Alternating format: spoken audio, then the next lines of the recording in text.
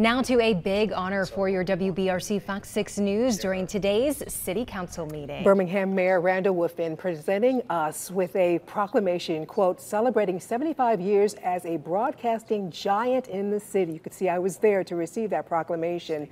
WBRC TV started broadcasting July 1949.